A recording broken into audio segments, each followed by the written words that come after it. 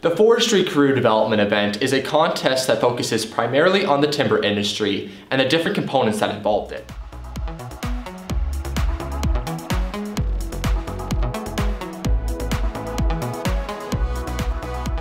Back in high school, my chapter loved competing in this career development event because we loved going outdoors. And the timber industry pertained to us because of where we're from, Douglas County. Anyone in high school can compete in this career development event that is an FFA member.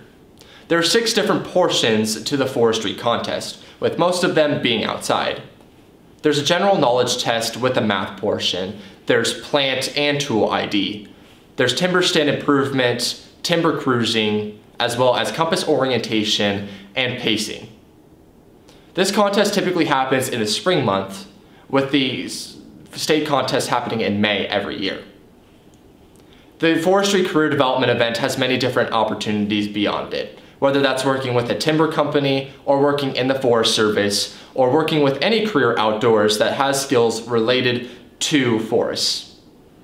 This contest is an amazing contest that you should try if you love being outdoors or working with trees. And this is something that you should consider trying today.